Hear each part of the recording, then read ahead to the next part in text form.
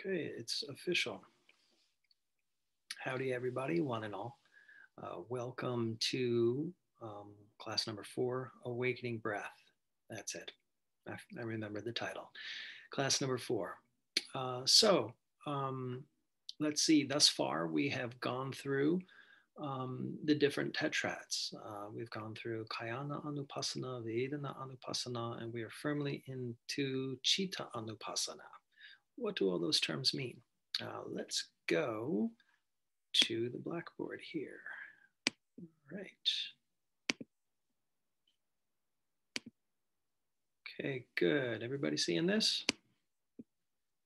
Lovely. All right. So um, here we are. Okay. So the chi, uh, uh, kayana anupassana or, or tracking mindfulness within the body. We've gone through the long breath, the short breath, extending this awareness of breath to the full body here.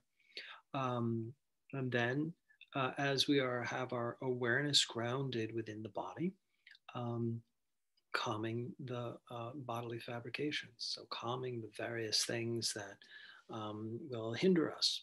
So uh, some have translated this to mean calming the formation of the breath itself so that it's barely perceptible. Uh, some people have uh, translated this as, you know, what are the distracting um, things that arise within the body. We've had the conversation around the hindrances, the things that arise within us that are hindrances, obstructions to the path. So looking at um, craving, the aversion, unconsciousness, restlessness, doubt. How is it that we can cultivate equanimity in a way that can uh, subdue, uh, equanimize uh, these uh, hindrances? And then uh, leaning into the pleasant feel tone that can be available. And how is it that we can stoke that pleasant feel tone so that we're cultivating this um, a, rising of energy so that we go into the, the piti and the sukha uh, the rapture and happiness as it's translated. But I think that towards the end of that conversation, what felt very salient for people was uh, more the sense of um, kind of excitement uh, versus contentment. Yeah. So how is it that we can stoke energy within the body? Yeah. So that we can have this uh, intense wakeful quality, but also turning our attention towards the rapturous, uh, excited feeling within the body that can happen. And then turning our attention away from kind of the, the energetic component into actually how it's um, our capacity to take in and enjoy, uh, derive some sustenance, derive some uh, contentment from that experience. Yeah. And so, you know, there's the opportunity to kind of go off into jhana practice there as we're um, really going into cultivating uh, deeper states of concentration. And uh, classically, uh, early Buddhism, that's how they went. There would be this sense of going into deep states of concentration to really refine the mind before we move into vipassana. And uh, this anapanasati structure, uh, these 16 exercises, uh, follow that. So then that brought, brings us to what we we're doing last week. Uh, breathing in, breathing out, sensitive to mental formations and calming mental formations. So here we have this um, pattern of expose yourself to something, and then how is it that we can reduce the reactivity around it? So um, being aware of the, the momentary see, hear, feel experience, how is it that we can uh, equanimize this and be aware of the restful states within the mind? Um, so you know, we're going into the mental formations, we're going into looking at the sankharas, the deep uh, volitional forces, the deep habit patterns that tend to arise. Uh, so whenever we uh, fall into fantasy planning, daydream within um, our sitting practice, um, there's a sense of volition, there's a sense of, of goading, there's a sense of doing within that. Yeah. Um, so uh, uh, it's important to be aware of that process because as we go through the day to day life, um, all of these driver sensations come up, all these reactivity comes up that goad us to go in particular directions. And do we really want to? Um, is that really our best choice? Are there certain habit patterns of reactivity that we would like to work through, you know, that previously have tethered us to a sense of discontent? You know? So that brings us into here, Chitta Anupassana, or uh, mindfulness of mind. Um, and so uh, previously I had this structured as an eight week class, and then I noticed. Michael? Yeah. Go ahead. Michael? Yeah. Can you hear me? Yeah, go, go ahead.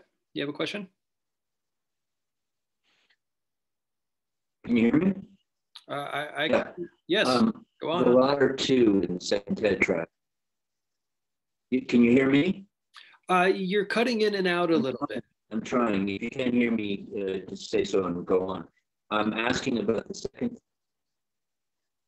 Hmm. the latter two uh, sensitive mental formations, calming mental formations. Then skip me. Never mind. Okay, if you'd like, you can put the question. I have a bad line or something. I'm sorry. Yeah. Forget it.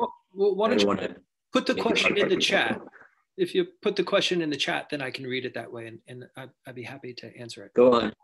Okay, good. Okay, uh, so uh, feel, feel free to put that in the chat. Uh, otherwise, I'll introduce what we're, we're working with here.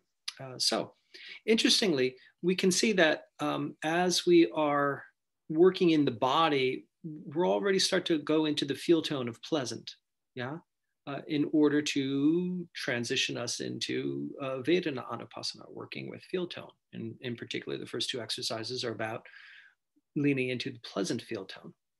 Um, and then the second two here, we start to work towards the mind. We're sensitizing ourselves to the mind, or at least the mental formations. And here's the thing: the mental formations. This is this is where we live. Uh, unfortunately, uh, you know, there's a, such a thing called the default mode network. Um, so whenever we're not fully engaged uh, in an activity, or we're not fully, um, how should we say, um, uh, uh, integrated within our environment, uh, certain networks of the brain just turn on uh, that are the default mode network that essentially uh, uh, um, infuse our experience with uh, fantasy, planning, daydream, thoughts of the past, projections of the future. Um, so it kind of gives us, it orients us a little bit in a time, space, and a role of self, um, as opposed to just kind of floating about a non self, which uh, to the untrained mind is disorienting, but to the trained mind is um, something that we um, could potentially put as an objective or a goal to work towards. So here we are observing the mental formations. A sense, in a sense, we can look at it as becoming aware of the default mode network turning on and how is it that we can turn it off. By continually turning it off and building the, the opposing uh, side, the, the, the um, attentional um, task positive uh, network, um, that ideally becomes more of our resting place rather than the default mode network, which is distraction and anxiety. Um, you know, we're trying to uh, uh, uh, recalibrate ourselves so that our default mode becomes more of the attentional network where we're awake, mindful, present time oriented. So that's part of the long term effects that will happen uh, as we examine and work through uh, getting caught within the mental formations. And as you can see, even though we're in the feeling tone um, uh, category here, we're already working with mind. So here we have, we're going to be looking at all of these four here experiencing the mind, gladdening the mind, steadying the mind, liberating the mind. That's what we have on the plate today. Okay, so here we have listing the tetrads. So the more classical uh, um, interpretation, number nine, one trains oneself, I'll breathe in, experiencing mind. One trains oneself, I'll breathe out, experiencing mind. Number 10, one trains oneself, I'll breathe in, gladdening mind. One trains oneself, I'll breathe out, gladdening mind. One trains oneself, I will breathe in, steadying mind. One trains oneself, I'll breathe out, steadying mind. And 12, one trains oneself, I'll breathe in, liberating mind.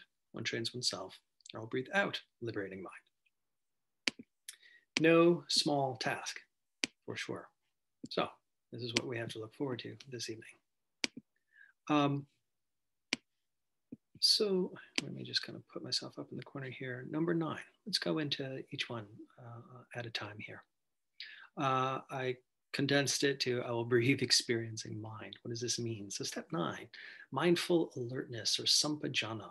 Uh, that's a term um, uh, sometimes translated as complete comprehension, full knowing. Um, it's knowing what the mind is saddled with, yeah, knowing what this mind body experience is going through. Um, sometimes it's uh, been translated with the connotation of understanding and tracking uh, uh, uh the mind. So, you know, if impermanence is a thing uh, that is um, ever present, all of our um, subjective and objective experience are subject to impermanence. But really, when we turn our focus towards uh, inside our subjective experience, we can notice that there are some experiences of solidity, but a lot of it is quite a bit in movement. You know? I mean, just starting with the breath, the breath itself is always in motion. So there's a sense of tracking, how so that we can allow ourselves in present time just be with uh, the motion of. So we're, we're tracking the motion, the movement of the mind, and attempting to find a sense of balance. So that's a theme that's that's that's evident here in this tetrad. So sensitizing ourselves to the state of mind while we're focusing on the breath. So um, I might have mentioned a couple times already this idea of peripheral awareness. So my my uh, vision, I'm looking at the glasses, but my peripheral vision, I can still see uh, my computer monitor and the lights around and then the room around that. So there's these kind of uh, uh, uh almost like concentric rings of visual um, experience here of peripheral vision. So similarly, what we're doing in, in this practice is we're building this ever widening peripheral awareness. So going from uh, the body, the sensations of the body, noting the pleasant, unpleasant, neutral, uh, uh, equanimizing the unpleasant hindrances, leaning into attending to the pleasant so that we kind of stoke that energy. And then we moved into the mind here. So here we are, number nine, breathing in, experiencing mind. So in a way, it's like the, um, you know, if the, the mental fab, uh, uh, fabrications, the, the sensory impressions of see here and feel are we're no longer identifying with them and we can kind of really see kind of what's behind. What is this this faculty of awareness? I mean right now just as you're sitting listening can you contact that just that brightness that awakeness quality? Just that feeling of being alive. Uh, experienced in the body experienced in the mind. And if you move the attention from the body and more into the head space you know, what is that experience? Uh, that which is seeing, that which is hearing. So we're moving a little closer into that, being able to cultivate this palette to discern the mental uh, space, the mental state. Um, so we're sensitizing ourselves to focusing on the breath, but also how that influences this experience of our mental state. So the ability to observe the mind in this way is helpful uh, in three ways. Uh, number one, we can figure out uh, what needs to be changed to bring the mind into right concentration. Yeah, so um, normally, um, if we have this metaphor of the seesaw, um, you know, too much balance, imbalance on one side, too much imbalance of another side. So when we're meditating, um, oftentimes when we're new to the practice, we have this experience of uh, the on off switch. Yeah, so we walk into a room, the light is off, we flick it, the light is on, just on off. That's all we have are the two settings. So when we come to meditate, it's like, oh, I'm going to meditate. So I'm going to sit, I'm going to be upright, and I'm going to be awake and pay attention. So the mind says, oh, that means we're going to be scattered and uh, uh, um, distracted and think a lot of thoughts, you know, overly uh, uh scattered, overly energized in that way. But then we say, no, no, no, no, no. We're, we're, we're relaxing, we're, we're calming, we're letting go, we're being peaceful, we're being still. And the mind says, oh, that means that we're being asleep, we're falling asleep now. And so that's what happens is we, we, we, in the early stages of our meditation practice, we're either scattered, distracted, and restless, or we're falling asleep. And so what we're doing is the nervous system is just flipping this on off switch until it finds this dimmer where there's this just right balance of awakeness, alertness, and restfulness and calm abiding. So um, we're experimenting with that within the body. So how is it that the breath and awareness can help us with that dimmer switch within um, the, the mental state. So the ability to uh, figure out what needs to be changed to, bright, uh, to bring the mind to right concentration, to bring ourselves into balance. So it helps you to figure out how to stay settled there. Yeah. And so when we find that right balance, all right, how can we just kind of chill out there and just kind of be there? So concentration, uh, some people have termed it as being able to, you know, that skill set of being able to um, hold in our attention what we deem relevant to the exclusion of what is irrelevant. So that's one way to look at it. Um, uh, in the Buddhist sense, there's that um, concentration is the natural state of the mind once the hindrances are extracted. Uh, awake, alert, and um, non-harried, non-agitated. So, number three, when concentration has been mastered, it allows you to observe the fabrications at work in right concentration so you can find the escape from them. So, when we touch upon these states, places, moments in our meditation where we are sufficiently awake, uh, sufficiently relaxed and calm, and there's not a lot of mental activity, there's not a lot of mental formations happening. Um, uh, uh, Buddhadasa uh, uses the metaphor in his book, um, The Heartwood of the Bodhi Tree. Uh, he talks about as though you're looking into a placid, crystal clear lake. And because the water is calm and clear, we can see the fish, you know, swim up to us from a distance away. You know, so we can see, oh, here comes a fish. That's what it is. It's totally a fish. it's just a fish. Cool as opposed to the experience, if anybody's had that experience of being in the ocean and the waves are frothing and all over the place, and then something kind of like, you know, squiggly and slimy just like kind of slips against your leg. And it's like we get t- overtaken by that in a way that when the mind is harried uh, and our reactive patterns show up, we become um, disrupted and um, distracted and maybe even. Um, uh, uh, how shall we say, dysregulated uh, by our habit patterns popping in. So, contrasting that to what we're att- attaining here is getting the mind to a place where it becomes like the crystal clear lake. So, eventually, when the thoughts come, you know, it's like, oh, okay, that's a thought.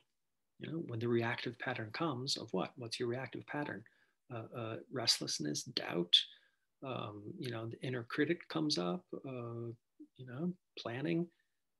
Where is it that your mind likes to go when you sit? You'll be able to see that, you know, more from a distance or the early stage of those thoughts as they're being born. And you can see, oh, that's what it is. And that's the seeing component of it. That's the hearing component, the feeling component. And I'm not engaging. So, experiencing mind.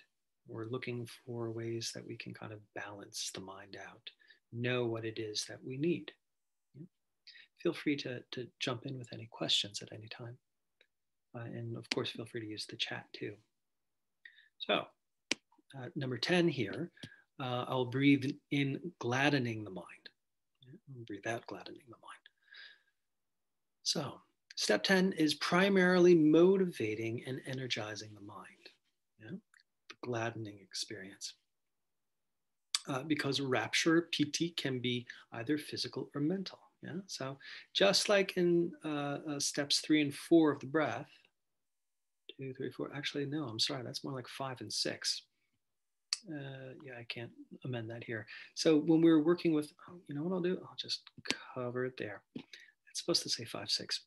So just like when we were cultivating piti and sukha within the body, okay, here can we uh, breathe in a way, inclining ourselves towards the pleasant attributes of breath and how that might uh, facilitate an energetic rise within the body that is pleasant.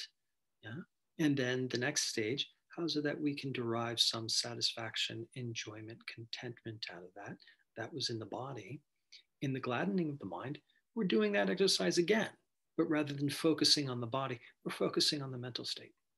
How does that brighten the mind? How does that energize the mind? How does that gladden the mind? Yeah. So really, the seesaw. It's like, oh, okay, I'm getting a little lethargic here, falling asleep. Okay, breathing with the peripheral awareness of in the mental state, how can we raise that energy up? So this is what exercise 10 is about, being able to energize the mind. So step 10, gladdening the mind. Uh, quote from the Thanissaro Bhikkhu in his book, Right Mindfulness, is the rapture felt by an arhat, an arhat is an enlightened individual, is the rapture felt by an arhat when reflecting on the fact that his, her mind is totally free from passion, aversion, and delusion. So there's something to be said about that. In the absence of the hindrances, uh, the mind comes to a place of being settled and uh, uh, alert, awake. in this respect, is focusing on the gladdening aspect of it. So um, I have this little side note here of the narrow focus versus broad. At first, we have this narrow focus, yeah, starting on this like narrow focus on the frenum, uh, the tip of the nose, what have you, and then we're just slowly working up this peripheral awareness, as I was saying before. So focusing on on what is relevant, rejecting slash repressing other activity or disregarding. And as we go on, we're continually building out this awareness. So we're find that we're doing these same exercises that we're doing in the body uh, and in feel tone, but building out this peripheral awareness of how it influences the mind. Okay. Okay. We good so far? Questions? All Moving right along. 11, uh, breathe in, steadying the mind. Breathe out, steadying the mind. So, steadying the mind. Again, the, the seesaw.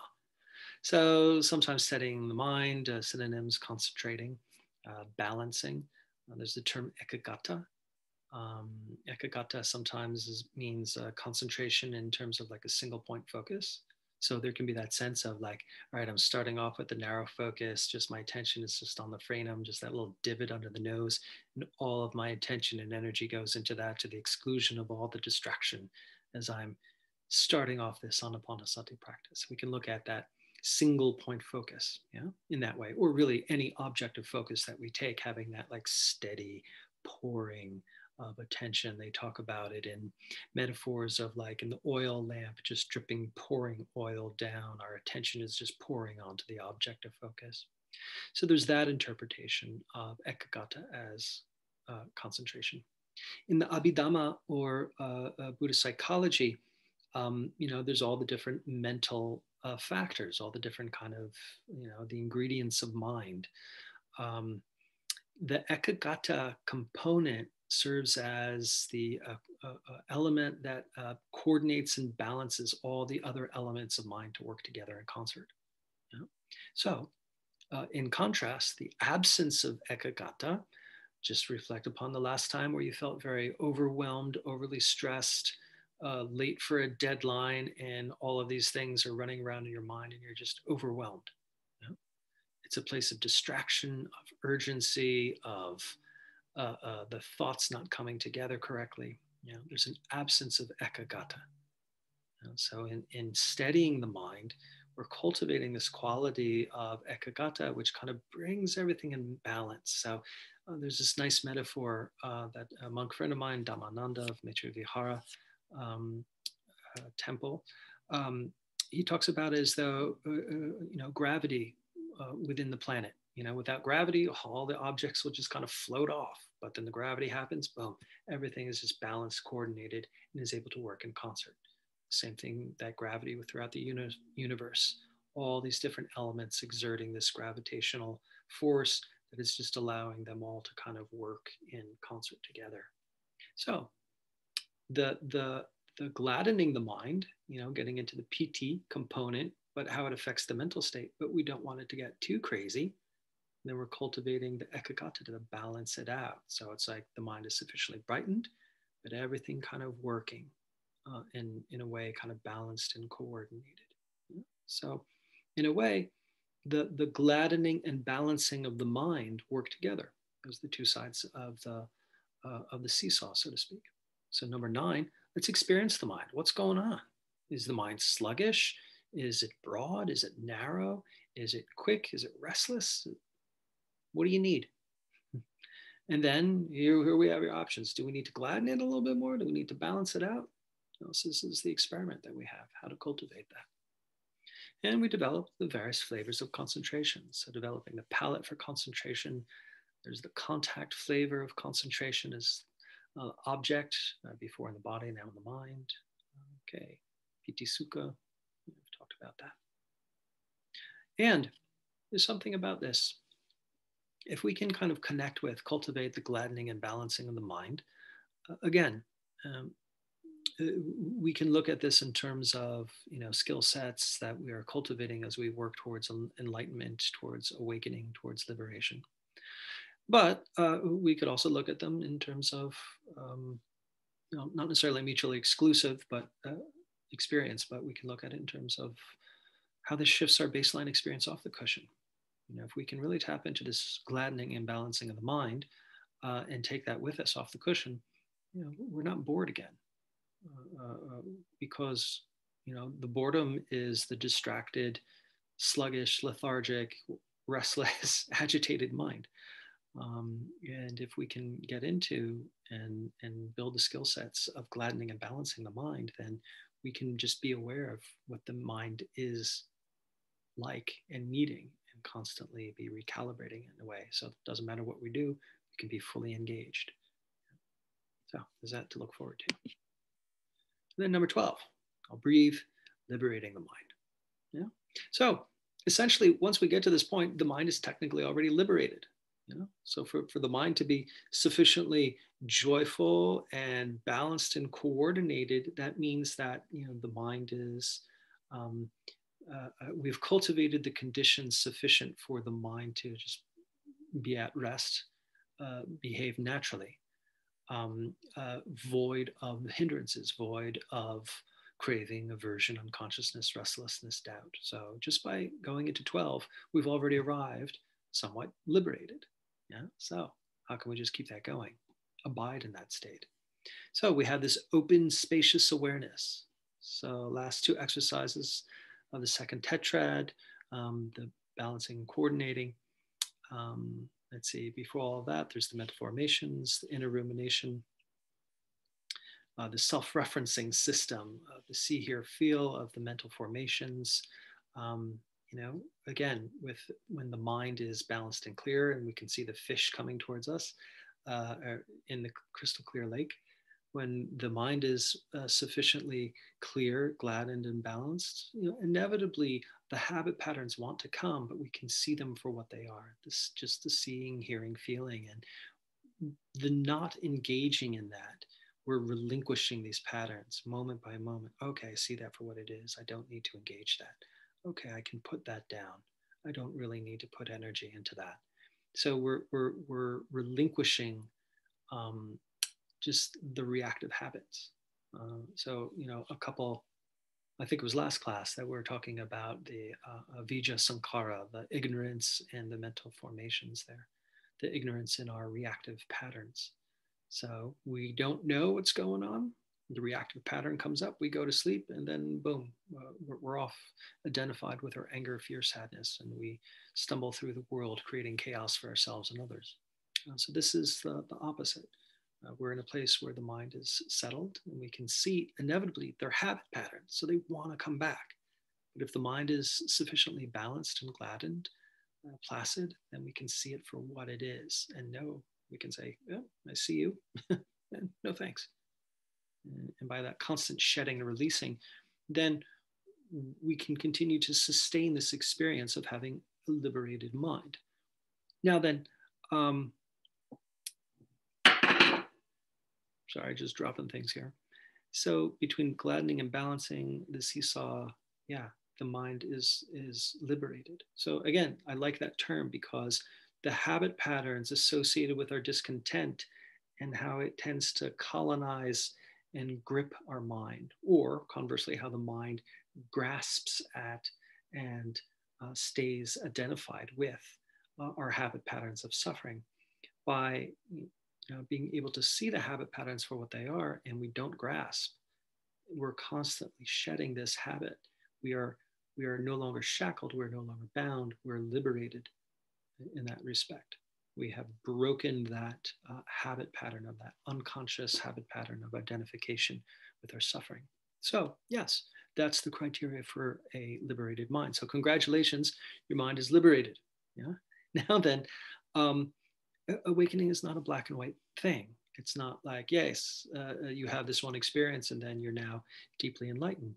But uh, uh it's it's a gradual process. There's degrees, gradients of it. So when you have the moments of the mind being balanced, clear, and you're not fixating or engaging in suffering, then yes, that counts. Uh, uh, uh, that's a, a, moment of liberation that you can put in the bank account. You know? Uh, and as you keep acquiring more and more of those moments, then they tend to deepen, become more profound, and auger into the deeper, deeper roots of our suffering. So, um, again, um, if if the metaphor for awakening is getting wet, uh, a lot of the stories uh, uh, depict awakening as though we fall in the pool. One moment we're dry, and then there's a big splash, and then now I'm immersed with water, meaning I was totally this unconscious reactive being, and then boom, I have this one experience on the meditation cushion, and now I'm an awakened being. It don't happen like that. Maybe for some people, but I think for the majority of people, um, it's like walking in a fine mist, taking a long hike through a misty, foggy day. Um, so after miles and miles and miles, we just gradually accumulate the dampness around until eventually we are soaked. But it's this gradual process. So just allowing yourself to create the conditions to uh, allow the mind to be uh, awake, balanced, and free of the hindrances um, you're acquiring these moments of liberation that then begin to take hold, so to speak. So I just want to say that to kind of uh, uh, demystify uh, some of these um, ideas, concepts of liberation and awakening, enlightenment. Uh, it's not something to be dipped in gold, put on the wall, and worshiped from afar. These are real, tangible daily life experiences that we have. That the more that we can cultivate a palate to discern when they arise, notice it when they do happen, and then, you know, remember them. Uh, then they tend to firm up and become more available to us. I just want to um, say that much there. Um, so a bit on equanimity. So a lot of this is about the discerning and knowing, but that equanimity, you know, that equanimity acceptance uh, towards the hindrances early on is what helps to calm the bodily fabrications. That having equanimity towards the mental fabrications, towards the see, hear, feel, tends to allow us to calm the mental formations.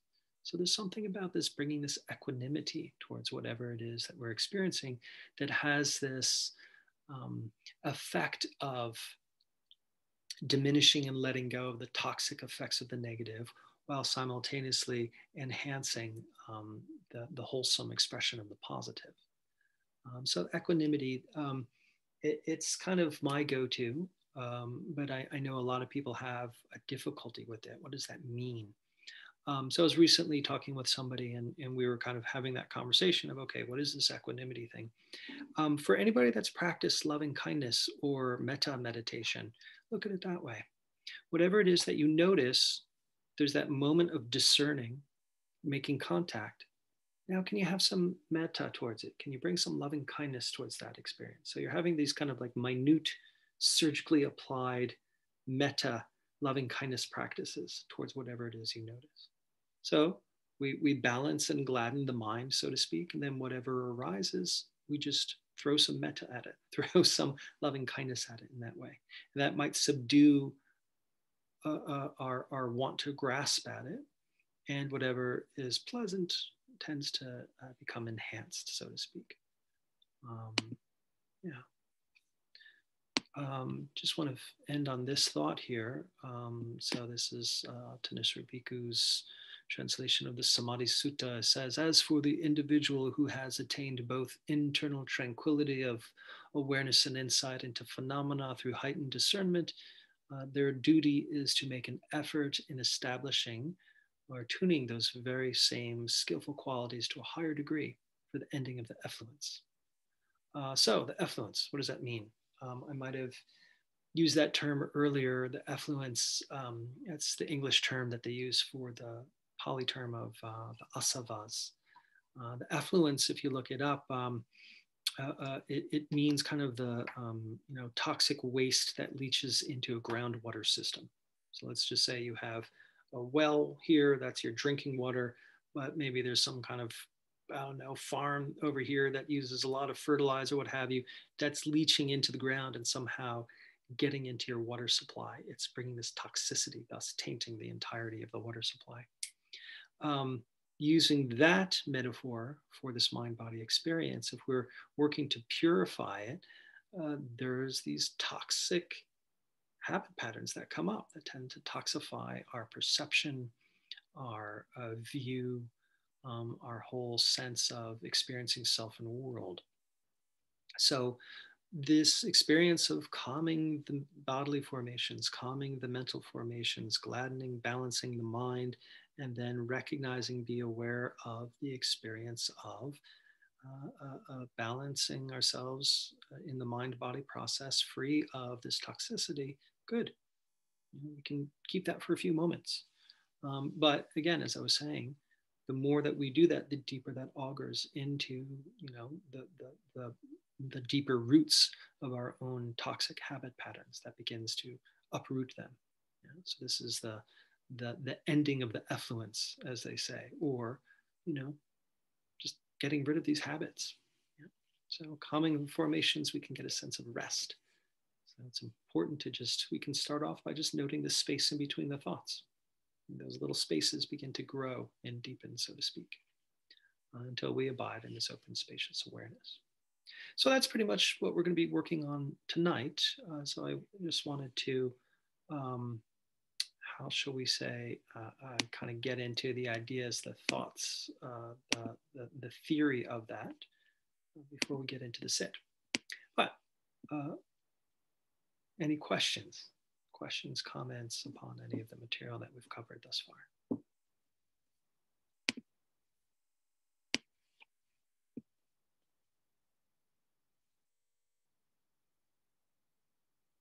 Uh, let's see, uh, I'm looking at the chat. Uh, one of the questions is, uh, is losing oneself in unbridled joy to be avoided?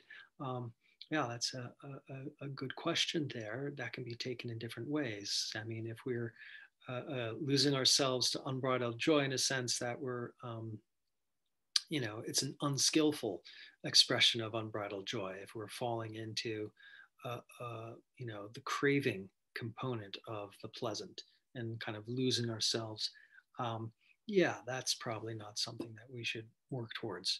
Uh, losing oneself to unbridled joy to be avoided. Well, if we look at it in, in terms of kind of cultivating steeper states of concentration as associated with what's implied here in, in the Piti and Sukha in terms of cultivating jhana, then um, no, that is a, a good thing um, this is something, and we were having a discussion about this uh, earlier in our morning sit group about kind of the concentration component and how we don't hear a lot about concentration, uh, or really what I would say, we don't hear enough about concentration. Um, you know, there's a lot of mindfulness uh, cultures, uh, a lot of the present day Vipassana movement cultures that really, you know, shun concentration exercises. Um, so there's some history to that as to why that happens.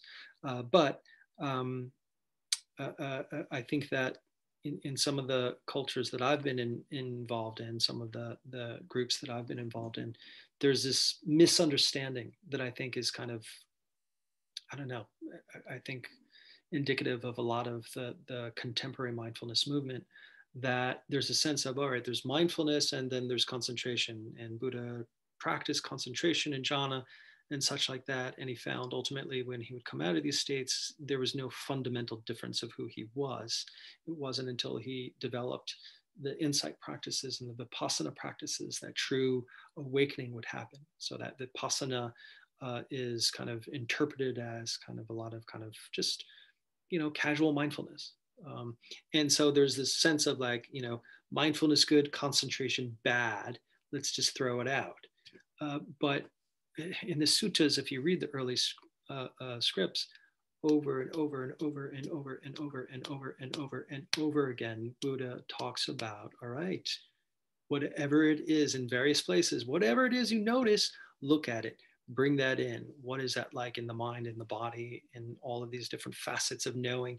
Take that all the way through to deep concentration of merging of subject and object, of you know working it through the jhanas and then come out of that and into insight, from inside into back into the jhana. So there's something about being able to, going back to what you're saying, unbridled joy. Well, really, what that's meaning here is working into the um, the uh, uh, uh, the jhanas. So that's what you're doing is you're cultivating concentration and allowing kind of this energy to kind of raise up, and then bit by bit we're just kind of take we're extracting the hindrances, we're extracting the agitating factors, so that ultimately we come to a place of a very balanced equanimity, where all that's left is uh, upekkha ekaggata, or the equanimity and that balanced concentration. That would be for the rupa jhanas. And then when we go into the non-bodily or arupa jhanas, there's uh, different aspects of it. So yes, it has its place. Uh, uh, once we can have sufficient concentration built up, then, you know, that access concentration is something that's available. Then when we do our vipassana insight practice, then we're really able to scour deep into our experience. Uh, otherwise, you know, uh, um, you know, concentration without mindfulness, there's no deep shifting of self and world towards liberation. Yet, you know, mindfulness or vipassana without concentration, you know, we're just superficially looking at how we kind of bang our heads against the wall.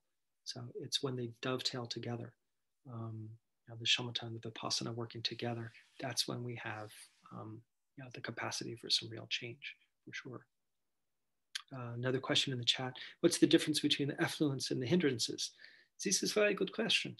Um, so the, the hindrances uh, feels, we could say that maybe that the hindrances are a subset of the effluence in a way, yeah? So the effluence would, would the, the hindrances in a way seem kind of more general. This is again editorial commentary by me. This is just my interpretation. Um, the hindrances are kind of general. There's craving, aversion, unconsciousness, restlessness, doubt um, the effluence seemed to me to be like, all right, how does that personally show up in you? you know, I like to say that stress is something that is universal. We're all subject to stress, but how it affects each of us, how we all tend to come apart under stress is individual to each of us. What are our own habit patterns?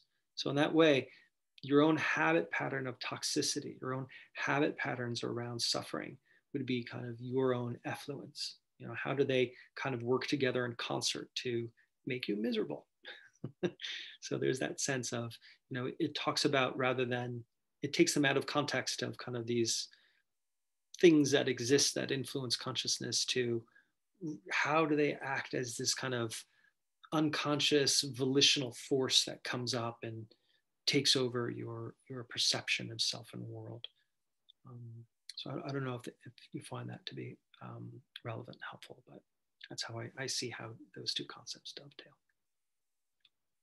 Okay.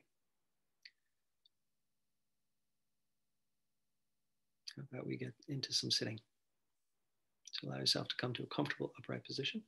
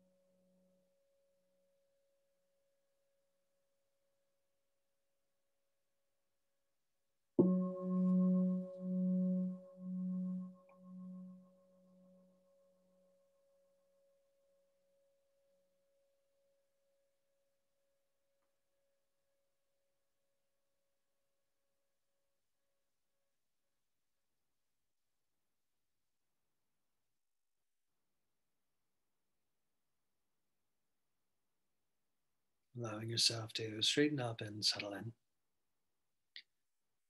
Settling into posture of the body and settling into awareness. This quality of awakeness, brightness, experience of the mind. We can begin to just familiarize ourselves with this.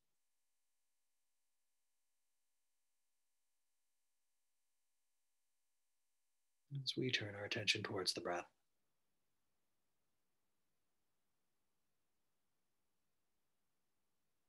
inclining yourself to notice, be aware of, be awake for this full body of breath. That is to say, the in breath, top of the in breath, out breath, base of the out breath.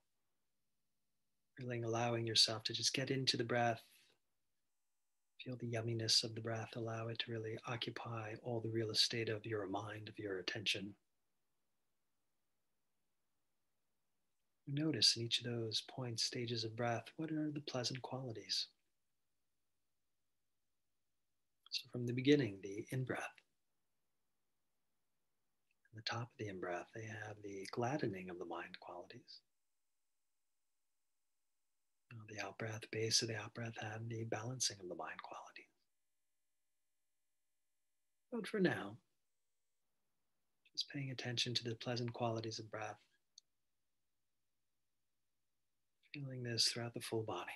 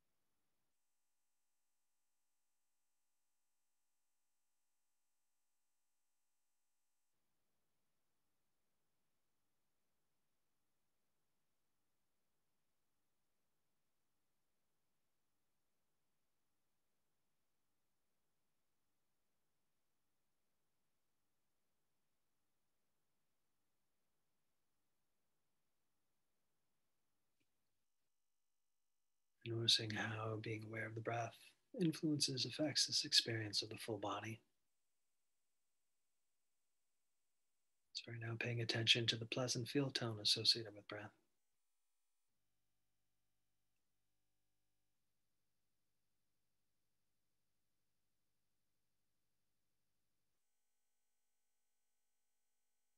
And how that's a resourcing factor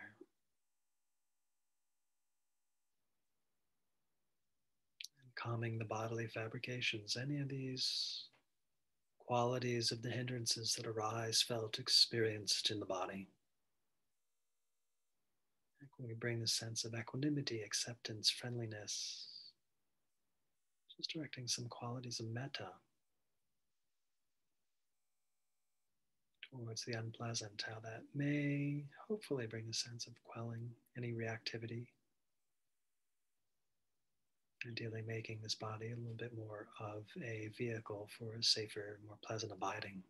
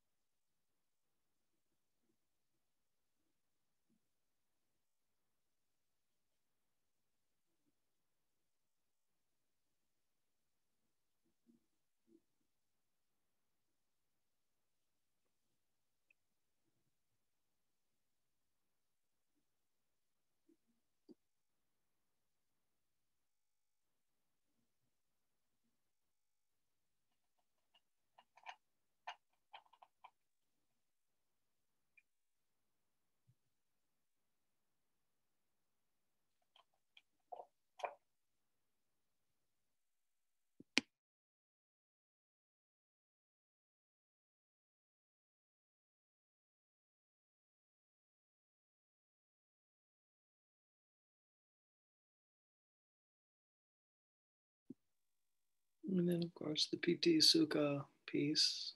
Again, we don't have to fall into deep states of jhana.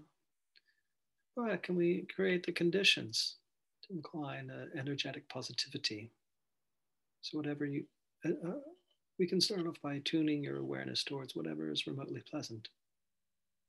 Again, we can mind the breath to notice the pleasant qualities. Whenever you notice something pleasant, just give yourself permission to feel that, which by definition is a pleasant moment, which you give yourself permission to feel, which is a pleasant moment.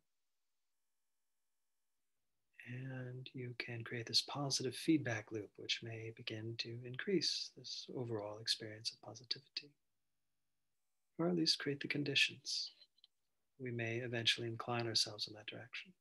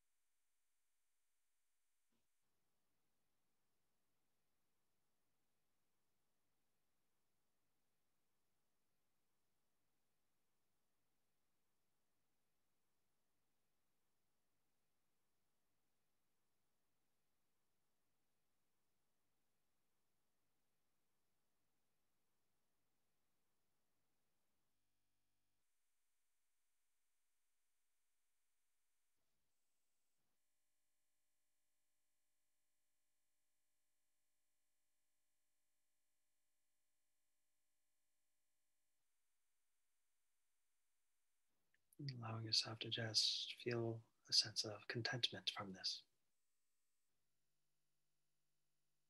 This is more the sukha, just allowing yourself to derive a sense of contentment, nourishing, satisfaction, not needing anything else. It's settling in.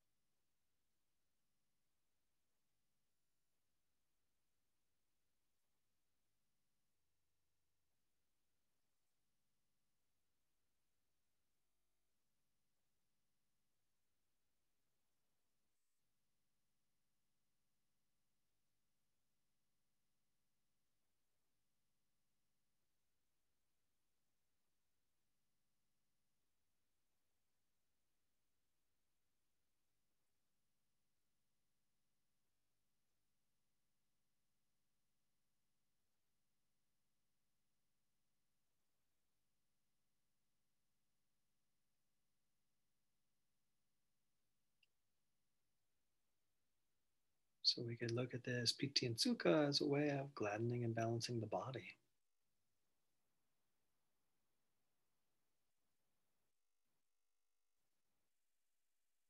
We can begin to open up our awareness towards the mental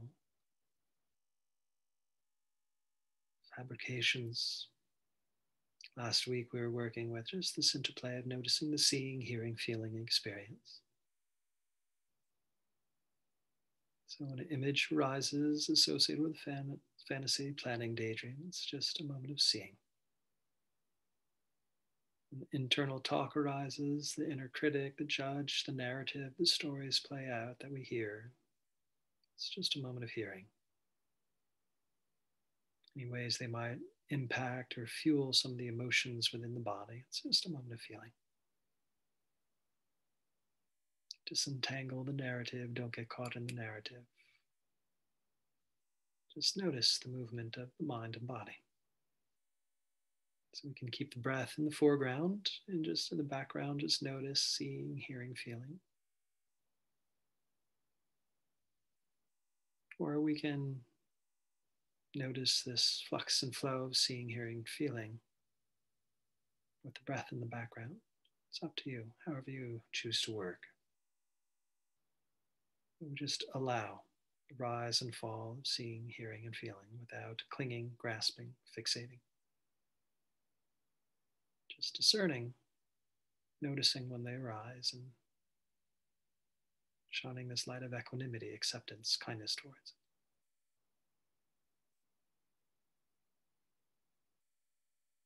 If you want, you can use this labeling set of see, hear, and feel. It sounds something like this feel, see, and feel, hear feel, and so on like that.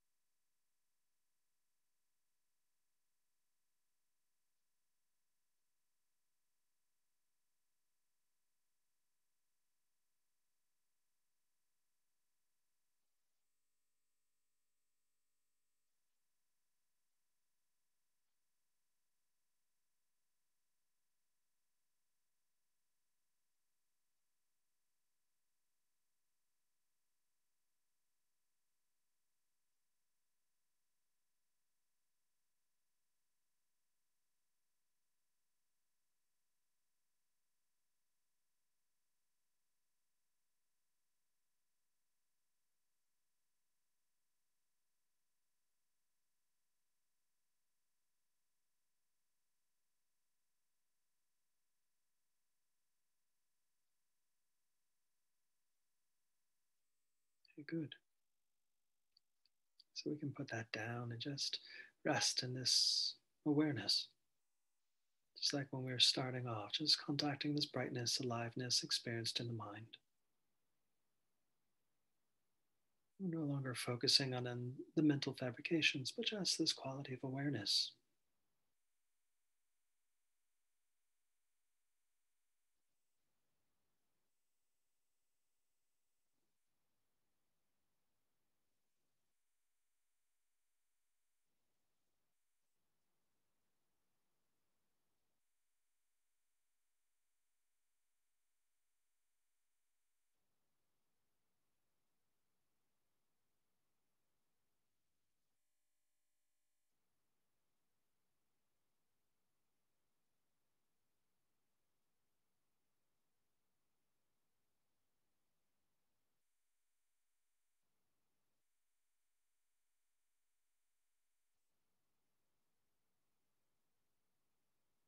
Noticing how is the mind, this quality of awareness itself. Bright, vast, expansive, pliant, flexible, narrow, agitated, harried, fixated. Just noticing, experiencing mind.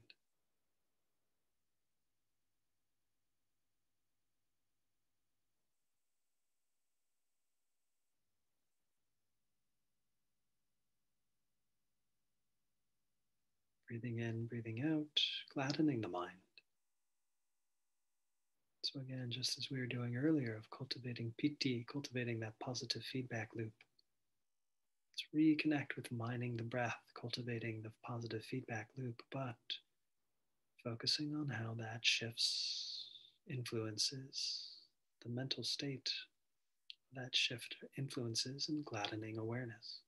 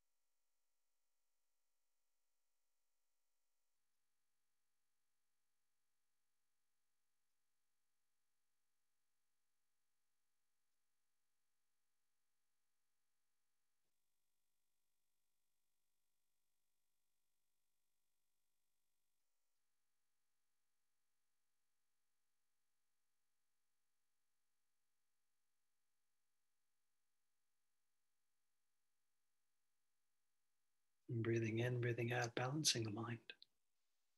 So, just as we were cultivating sukha in the body earlier, cultivating just this awareness of contentment, paying attention to the breath in this way, how does how do we derive a sense of contentment, enjoyment, satisfaction, nourishing from it?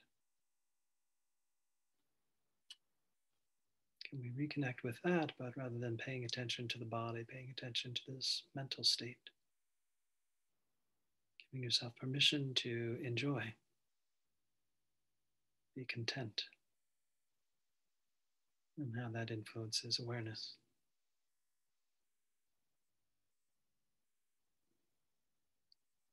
It's balancing the mind.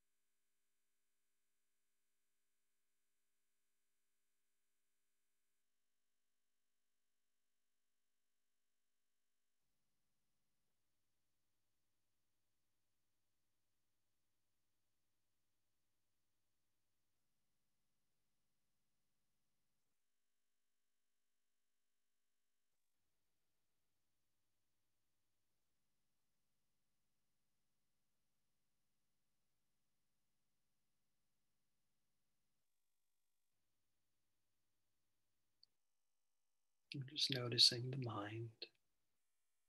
Does it need gladdening or balancing out? But to whatever degree the mind feels peaceful, placid, awake, and alert and aware, appreciate that.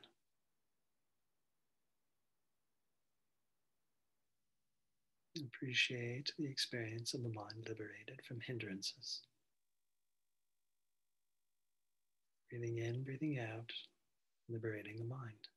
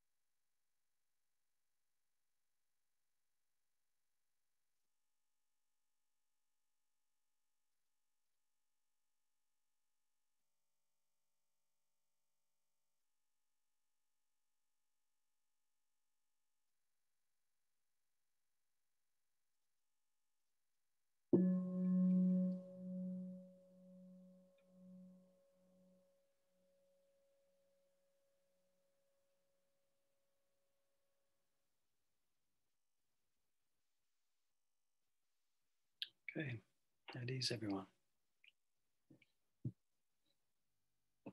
I'm going to turn the camera off for the question and answer period. Okay, so thank you everybody for all of your, your time, your attention, and your work this evening. Um, again, this will be put up on the YouTube, so uh, if you'd like to use the recorded uh, meditation as a support for you as we go from week to week, in terms of uh, building and uh, building upon these um, uh, uh, skill sets that is there for you. So we can end up with the dedication of merit. by the merits of these acts and other such virtues, may we attain a liberation for the benefit of all beings. We bow before those who come before us on the path after us, and to those who walk beside us on the path.